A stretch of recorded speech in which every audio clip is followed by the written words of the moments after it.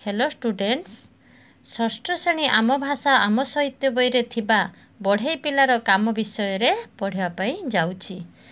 କବି ହେଉଛନ୍ତି ଗୋଦାବରୀଶ ମିଶ୍ର କବି ପରିଚୟ। କବି ଗୋଦାବରୀଶ ମିଶ୍ର ଏକଧାରାରେ ଥିଲେ ସାହିତ୍ୟିକ ଶିକ୍ଷକ ଦେଶସେବୀ ଓ ରାଜନୀତିଜ୍ଞ। ସେ ଅନେକ ଗାଥା କବିତା ରଚନା କରିଛନ୍ତି। କବିଙ୍କ ଆଲେଖିକା କିଶଳୟ କଳିକା ଗୀତାନୟ ପ୍ରଭୃତି କବିତା ସଂକଳନ ଆମ ସାହିତ୍ୟର ଅମୂଲ୍ୟ ସମ୍ପଦ। ଏହି କବିତାରେ ଶିଶୁଶିଳ୍ପୀ ଧରମାର ଅପୂର୍ବ ତ୍ୟାଗ ଓ ବୀରତ୍ୱ କଥାକୁ କବି କବିତା ଭାବରେ ବର୍ଣ୍ଣନା କରିଛନ୍ତି। ପିଲାମାନେ କବିତାଟି ପଢ଼ିବା ଏବଂ ତା ବିଷୟରେ ଜାଣିବା। ଲାଗି ଦିନ ରାତି ବାରଶହ ବଢ଼େଇ ଦେଉଳ କଲେଣି ଠିଆ। ଚୂଳ ବସିଗଲେ ସରିବ ପାଇଟି ଆନନ୍ଦେ ନାଚଇ ହିଆ। ଏହାର ଅର୍ଥ ଦିନ ରାତି ବାରଶହ ବଢ଼େଇ ଦେଉଳ କଲେଣି ଛିଡ଼ା। ଏହାର ଅର୍ଥ ଦିନ ରାତି ଲାଗିକି ମନ୍ଦିରଟି ସମ୍ପୂର୍ଣ୍ଣ କରି ସାରିଲେଣି ଚୂଳ ବସିଗଲେ ସରିବ ପାଇଟି ଆନନ୍ଦେ ନାଚଇ ହିଆ ଆଉ ତାପରେ ଆନନ୍ଦରେ ନାଚି ଉଠିବେ। ଥରେ ଗଢ଼ି ଥରେ ଭାଙ୍ଗନ୍ତି ଚୂଳ ସେ ମନକୁ ନପାଏ କାର। କେନାକ ଟେକଇ କେ କହେ ନୁହଁ ଢଙ୍ଗ ଚୂଳ ଗଢ଼ିବାର। ଥରକୁ ଥର ଭାଙ୍ଗି ପୁଣି ଥରେ ବସଉଛନ୍ତି ହେଲେ ମନକୁ ପାଉନାହିଁ। କେନାକ ଟେକଇ କେ କହେ ଏ ନୁହଁ ଢଙ୍ଗ ଚୂଳ ଗଢ଼ିବାର। ଇଏ ଠିକ୍ ଚୂଳ ନୁହେଁ ଇଏ ମନ୍ଦିରର ଅଗ୍ରଭାଗ ଠିକ୍ ସେ ଲାଗିପାରୁନାହିଁ। ବାର ବରଷ ସେ ଲାଗିଲେଣି କାମେ ବିଳମ୍ବ ନହିବ ଆଉ। ଚାରି ଦିନ ଗଲେ ଦେଉଳ ପ୍ରତିଷ୍ଠା ବେଳ ଚାଲିଯିବ ଚାହୁଁ। ବାର ବାର ବରଷର ବାର ବରଷ ସେ ଲାଗିଲେଣି କାମେ। ବାର ବର୍ଷ ହେଲାଣି ସେ ମନ୍ଦିର ତୋଳିବା କାମରେ ଲାଗିଛନ୍ତି। ଆଉ ବିଳମ୍ବ ହେବ ନାହିଁ। ଚାରି ଦିନ ଗଲେ ଦେଉଳ ପ୍ରତିଷ୍ଠା ଚାରି ଦିନ ଗଲା ପରେ ଦେଉଳ ପ୍ରତିଷ୍ଠା। ବେଳ ଚାଲିଯିବ ଚାହୁଁ ଚାହୁଁ ଚାହୁଁ ବେଳ ଚାଲିଯିବ ପ୍ରତିଷ୍ଠାର ଦିନ ଆସି ପହଞ୍ଚିଯିବ। ଏପଟେ ଦେଖିଲା ବେଳକୁ ମନ୍ଦିରର ଚୂଳ ବସି ଚାରି ଦିନ ମଧ୍ୟେ ନ ବସିଲେ ଚୂଳ ପଣ୍ଡ ହୋଇଯିବ ଶ୍ରମ। ବାରଶହ ବଢ଼େଇ ମୁଣ୍ଡ କାଟ ହେବ ବୁଦ୍ଧି ହୋଇଯିବ ଭ୍ରମ। ଚାରି ଦିନ ମଧ୍ୟରେ ନ ବସିଲେ ମନ୍ଦିରର ଚୂଳ ବା ଅଗ୍ରଭାଗ। ସବୁକିଛି ପଣ୍ଡ ହୋଇଯିବ ତାଙ୍କର ଶ୍ରମ ବୃଥା ହୋଇଯିବ। ବାରଶହ ବଢ଼େଇ ମୁଣ୍ଡ କାଟ ହୋଇଯିବ ବୁଦ୍ଧି ହୋଇଯିବ ଭ୍ରମ। ଗଢ଼ୁଛି ଭାଙ୍ଗୁଛି ପାଟ କାରିଗର ଟିକକେ ରହୁଛି ଦୋଷ। ମନ ମନ ଧ୍ୟାନ ଦେଇ ଲାଗିଅଛି କାମେ ନ ଜାଣଇ ଭୋକ ଶୋଷ। ଏହାର ଅର୍ଥ ଗଢ଼ୁଛି ଭାଙ୍ଗୁଛି ପାଟ କାରିଗର। ପାଟ କାରିଗର କିଏ? ତାଙ୍କର ମୁଖ୍ୟ କାରିଗର କାରିଗରମାନଙ୍କ ଭିତରେ ଯିଏ ଶ୍ରେଷ୍ଠ କାରିଗର। ସେ ଗଢ଼ୁଛି ତିଆରି କରୁଛି ମନକୁ ଯେତେବେଳେ ନ ପାଉଛି ପୁଣି ଭାଙ୍ଗି ଦେଉଛି। ଟିକେ ନା ଟିକେ ତାର ଦୋଷ ରହିଯାଉଛି। ମନ ଧ୍ୟାନ ଦେଇ ଲାଗିଅଛି କାମେ ନ ଜାଣଇ ଭୋକ ଶୋଷ। ସବୁ ଧ୍ୟାନ ଦେଇ ମନ ଧ୍ୟାନ ସବୁ କିଛି ଦେଇ ସେ ତାଙ୍କର ତିଆରି କରିବାରେ ଲାଗିଛନ୍ତି। ଭୋକ ଶୋଷ ସବୁ ଭୁଲିଗଲେଣି। ଶୁଣିଲେ ଶୁଣିଲା କେ କହେ କିଣ ବର କୋଳି ଚାହିଁଲା ବୁଲାଇ ମୁହଁ ବୁଝିଲା ଦଣ୍ଡକ ପରେ ସେଉ ତାର ଆପଣା ବାଳୁତ ପୁଅ। ସେ ତିଆରି କରିବା ସମୟରେ ମନ୍ଦିରର ଚୂଳ ମାରିବା ସମୟରେ କିଏ ଜଣେ କହିଲା ବରକୋଳି ବରକୋଳି କିଣ। ଚାହିଁଲା ବୁଲିଲା ମୁହଁ ବୁଲିକି ପଛକୁ ଚାହିଁକି ଅନେଇଲା। ବୁଝିଲା ଦଣ୍ଡକ ପରେ ସିଏ ତାର ପୁଅ। କିଛି ସମୟ ପରେ ସେ ଜାଣିପାରିଲା ସେ ତାର ପୁଅ। ଆପଣା ବାଳୁତ ପୁଅ ସେ ତାର ପୁଅ ବୋଲି କିଛି ସମୟ ପରେ ଜାଣିପାରିଲା। ବାପକୁ ଖୋଜି ସେ ଆସିଅଛି ପିଲା ବାରି ଗଛୁ ତୋଳି କୋଳି। ବାପ ସିନା ତାକୁ ଦେଖି ନାହିଁ ନେତ୍ରେ ଚିହ୍ନିବ ଚାଖିଲେ କୋଳି। ବାପାକୁ ଖୋଜି ସେ ଆସିଅଛି ପିଲା ବାପାକୁ ଖୋଜି ଖୋଜି ଆସିଅଛି। ବାର ବାରି ଗଛୁ ତୋଳି କୋଳି ଆଉ ନିଜ ବାଡ଼ିରୁ କୋଳି ଧରିକି ଆସିଛି। ବାପ ସିନା ତାକୁ ଦେଖି ନାହିଁ ନେତ୍ରେ ବାପା ସିନା ତାକୁ ନେତ୍ର ମାନେ ଆଖିରେ ଦେଖିନାହାନ୍ତି ଚିହ୍ନିବ ଚାଖିଲେ କୋଳି ସେ କୋଳି ଖାଇଲେ ଜାଣିପାରିବ। କାହିଁକି ନା ବିଶୁ ମହାରାଣା ତା ବାପା ତାଙ୍କ ବାଡ଼ିର ବରକୋଳି ଧରିକି ଧରମା ଆସିଥିଲା। ବାଡ଼ି ବରକୋଳି ଖାଇସାରିଲା ପରେ ସେ ଜାଣିପାରିବ ଇଏ ମୋର ପୁଅ ବୋଲି। ବାର ବର୍ଷ ତଳେ ଘରୁ ଆସିଥିଲା ମା ପେଟେ ଥିଲା ପୁଅ।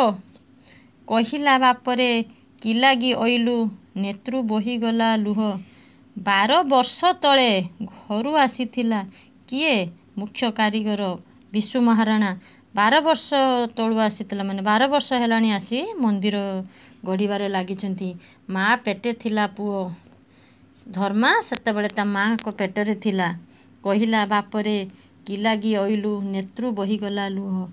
ଏ କଥା କିଏ କହିଛନ୍ତି? ନା ବିଶୁ ମହାରାଣା କହୁଛନ୍ତି ତା ବାପା କହୁଛନ୍ତି ବାପରେ ବାପ ବେଳେ ବାପା ମା ପୁଅକୁ ସମ୍ବୋଧନରେ ବାପରେ ବୋଲି କୁହନ୍ତି। ବାପା ବୋଲି ଡାକନ୍ତି। ବାପରେ କିଲାଗି ଅଇଲୁ କାହିଁକି ତୁ ଆସିଲୁ? ନେତ୍ରୁ ବହିଗଲା ଲୁହ। ତା ବାପାଙ୍କ ଆଖିରୁ ଲୁହ ବହି ଯାଉଥାଏ ନେତ୍ରୁ ମାନେ ଆଖିରୁ। ନେତ୍ରୁ ମାନେ ଆଖିରୁ ବହି ଯାଉଥାଏ ଲୁହ। ଚାରି ଦିନ ଗଲେ ପୁରିବ ଆୟୁମ ବସାଇ ନହିଲୁ ନହିଛୁ ଚୂଳ। ଦେଖୁଛୁ ରାଇଜ ଯାକର ବାରଶ। ବଢ଼େଇ ହୋଇଛୁ ଠୁଳ। ଚାରି ଦିନ ଗଲେ ପୁରିବ ଆୟୁମ ଆୟୁ ମାନେ ମୋର ଆୟୁଷ ଚାରି ଦିନ ଗଲା ପରେ ମୋର ଆୟୁଷ ପୁରିଯିବ। ବସାଇ ନଉଛୁ ଚୂଳ। ଯଦି ଆମେ ବସାଇ ନ ପାରୁଛୁ ଚୂଳ ମୁଁ ଯଦି ବସାଇ ନ ପାରୁଛି ମୋର ଆୟୁଷ ସରିଯିବ ପୁରିଯିବ। ଦେଖୁଛୁ ରାଇଜ ଯାକର ବାରଶ ବଢ଼େଇ ହୋଇଛୁ ଠୁଳ। ଦେଖୁଛୁ ଏଠି ବାରଶ ବଢ଼େଇ ରାଇଜ ଯାକର ଚାରିଆଡ଼ର ବାର ବଢ଼େଇ ଆମେ ଏଠି ଠୁଳ ହୋଇଛୁ। ତନକି ଚାହିଁଲା ନିମିଷେ ପିଲାଟି ନିରୀକ୍ଷେକି ଚାହିଁଲା ପିଲାଟି ନିମିଷେ ପିଲାଟି ମାନେ କିଛି ସମୟ ନିରୀକ୍ଷେକି ଚାହିଁଲା ଦେଉଳ ମୂଳରୁ ଶିଖ ତଳରୁ ଉପର ଯାଏ ଚାହିଁଲା କହିଲା ବାପା ହେ ନକର ଭାଳେଣି ସବୁ ହୋଇଯିବ ଠିକ। ଧର୍ମା ତା ବାପାଙ୍କୁ ବୁଝାଇ କହିଲା ବାପା ତୁମେ ଭାଳେଣି କର ନା ସବୁ କିଛି ଠିକ ହୋଇଯିବ। ରାତି ପାହି ଯେବେ ହୋଇବ ସକାଳ ଆସିବ ଏଠାବେ ପୁଣି ଘରେ ଯାଇ ଏବେ ଖାଇ ସୁଅ ସୁଖେ କହି ପିଲା ଦେଲା ତୁନି। ପିଲାଟି କ'ଣ କହିଲା? ରାତି ପାହି ଯେବେ ହୋଇବ ସକାଳ ଯେବେ ରାତି ପାଇକି ସକାଳ ହୋଇଯିବ ଆସିବ ଏଠାବେ ପୁଣି ସେତେବେଳେ ଯାଇ ଏଠାକୁ ଆସିବ। ଘରେ ଯାଇ ଏବେ ଖାଇ ସୁଅ ସୁଖେ କହି ପିଲା ହେଲା ତୁନି। କହିଲା ଯାଅ ଘରେ ଖାଇ ସୁଖରେ ସୁଅ ରାତି ପାଇଲେ ଏଠାକୁ ଆସିବ। ମାନି ପିଲା କଥା ବାରଶ ବଢ଼େଇ ବସାକୁ ଗଲେ ଯେ ଯାର ଅନ୍ନ ରୁଚିଲା ନ ଲାଗିଲା ନିଦ ଜୀବନ ହେଲାଣି ଭାର। ପିଲାର କଥା ମାନିକି ବାରଶ ବଢ଼େଇ ବସାକୁ ଗଲେ ସତ କିନ୍ତୁ ସେମାନଙ୍କୁ ନ ରୁଚିଲା ଅନ୍ନ ନ ରୁଚିଲା ମାନେ ଖାଇବାର କିଛି ରୁଚିଲାନି ନ ଲାଗିଲା ନିଦ ନିଦ ବି ଲାଗିଲାନି ଜୀବନ ହେଲାଣି ଭାର। ତାର ଅର୍ଥ ମରିବେ କି ବଞ୍ଚିବେ ସେଇ ଭାଳେଣି ଭିତରେ ସେମାନେ ରହିଛନ୍ତି।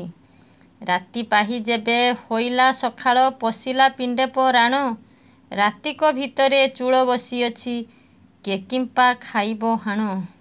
ରାତି ପାଇ ଯେବେ ହୋଇଲା ସକାଳ ଯେତେବେଳେ ରାତି ପାଇ ସକାଳ ହୋଇଯାଇଛି ପଶିଲା ପିଣ୍ଡେ ପରାଣ। ତାର ଅର୍ଥ ତାଙ୍କର ପିଣ୍ଡରେ ପ୍ରାଣ ପଶିଲା ପରି ତାଙ୍କୁ ଲାଗିଲା। ରାତିକ ଭିତରେ ଚୂଳ ବସିଅଛି କେକିମ୍ପା ଖାଇବ ହାଣ। କାହିଁକି କେହି ହାଣ ଖାଇବ? ତାଙ୍କର ମନ୍ଦିରର ତ ଚୁଳି ବସିଗଲା ସବୁ କାମ ତ ସବୁ କାମ ତ ସମ୍ପୂର୍ଣ୍ଣ ହେଇଗଲା। ନ ହେଲେ ନ କାଟିଲା ଆପଦ ସେତକ ଲୁଚିକି ରହିବ କଥା। ରାଜାଙ୍କ କାନକୁ ଚାଲିଗଲେ ଥରେ କାରକି ରହିବ ମଥା। ହେଲେ ନ କଟିଲା ଆପଦ ସେତକ ସେତିକିରେ ସେମାନଙ୍କର ବିପଦ କଟିଲାନି। ଲୁଚିକି ରହିବ କଥା। ପିଲାମାନେ ସତ କେବେ ଲୁଚି ରହେ ନା? ଯେଉଁଟା ସତ ସେ ଦିନେ ନା ଦିନେ ପଦାକୁ ବାହାରିବ। ଏଠି ରାଜାଙ୍କ କାନକୁ ଯଦି ଚାଲିଯାଏ ବାର ବର୍ଷର ପିଲା ବାରଶହ ବଢ଼େଇ ଯେଉଁଟା ନ କରିପାରିଲେ ବାର ବର୍ଷର ପିଲା ସେଇଟା କରିପାରିଛି। କ'ଣ ହେବ? ନା ରାଜା ବାରଶହ ବଢ଼େଇଙ୍କର ମୁଣ୍ଡ କାଟ କରିଦେବେ। ଶୁଣନ୍ତେ ସେ ହାଲ ପିଲା କାରିଗର ମନେ ବିଚାରିଲା ବସି କେଜାଣେ ଅସାବଧାନେ ତୁଣ୍ଡ ମୋର। କଥା ଯାଇପାରେ ଖସି। ଶୁଣନ୍ତେ ସେ ହାଲ। ପିଲା କାରିଗର। ମନେ ବିଚାରିଲା ବସି। କେଜାଣେ ଅସାବଧାନତା ତୁଣ୍ଡ ମୋର। କଥା ଯାଇପାରେ ଖସି। ପୁଅରେ ଦାୟ ନା? ଦାୟ ବାପାଙ୍କର। ବାରଶ ବଢ଼େଇରେ। ଭାବି କୋଣାର୍କ ଚୂଳ ସେ ଡେଇଁଲା। ପଡ଼ିଲା ସମୁଦ୍ରେ ନୀରେ। ଶେଷରେ ଧର୍ମପଦ କ'ଣ କରିଥିଲା? ନା ବାରଶହ ବଢ଼େଇଙ୍କୁ ବଞ୍ଚେଇବା ପାଇଁ ଯାଇ ସେ କୋଣାର୍କ ମନ୍ଦିରର ଅଗ୍ରଭାଗରେ ଚଢ଼ି ଚୂଳ ସେ ମାନେ ଅଗ୍ରଭାଗରେ ଚଢ଼ି ସେ ଡେଇଁ ପଡ଼ିଲା। ପଡ଼ିଲା ସମୁଦ୍ର ନୀରେ ସମୁଦ୍ର ମଧ୍ୟକୁ ଡେଇଁ ପଡ଼ିଲା। ପିଲାମାନେ କହିପାରିବ ସେ ଯେଉଁ ମନ୍ଦିରକୁ ବାରଶହ ବଢ଼େଇ ଗଢ଼ିଥିଲେ ସେ ମନ୍ଦିରଟି କେଉଁ ମନ୍ଦିର? ନା କୋଣାର୍କ ମନ୍ଦିର। କବିତାଟି ସମ୍ପୂର୍ଣ୍ଣ ହେଲା। ଏହାର ଅର୍ଥ ପଢ଼ିବା। ହିଆ ମାନେ ଛାତି ଚୂଳ ମାନେ ଅଗ୍ରଭାଗ ପାଟ ମାନେ ଶ୍ରେଷ୍ଠ ବା ମୁଖ୍ୟ। ତନଖି ମାନେ ଭଲ ଭାବରେ ପରୀକ୍ଷା କରି ଭାର ମାନେ ଓଜନ ଆପଦ ମାନେ ବିପଦ ହାଲ ମାନେ ଅବସ୍ଥା।